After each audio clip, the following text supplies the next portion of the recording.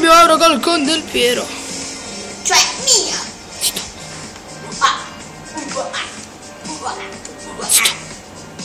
Mm, che gol.